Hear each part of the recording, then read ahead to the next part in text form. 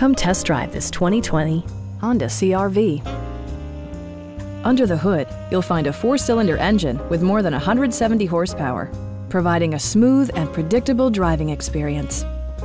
Well-tuned suspension and stability control deliver a spirited yet composed ride and drive.